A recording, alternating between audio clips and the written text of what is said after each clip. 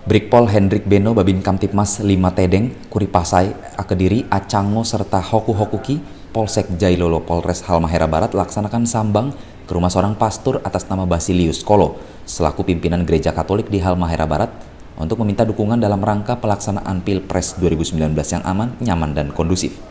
Selain meminta dukungan, Brigpol Hendrik Beno juga meminta pendapat berupa saran, kritik, dan masukan dari pastor terhadap kinerja kerja kepolisian. Saya Pastor Basilius Kolo MSC